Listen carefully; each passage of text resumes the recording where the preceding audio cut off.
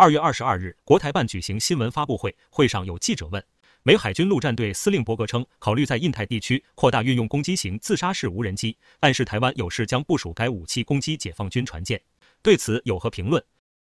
真可谓是树欲静而风不止。美国政客的有关言论，充分的表明，美国反华势力出于自身的利益，纵容支持台独分裂势力冒险挑衅，挑动台海紧张局势。目的呢是借台湾问题遏制中国发展进步，损害中华民族利益，阻挠中华民族复兴。这也充分证明，民进党当局妄图以美谋独，只会祸害台湾，给台湾同胞带来灾难。